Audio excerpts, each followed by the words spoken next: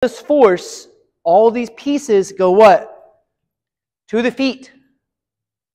All of this happening via the foot.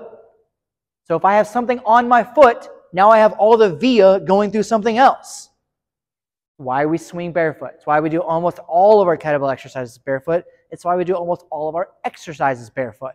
If I am deadlifting, the force goes up through my body and then goes where? Through my feet. So I have something on my feet. Now the force has to go through the something. If I have nothing on my feet, my body instantly knows what to do with this information.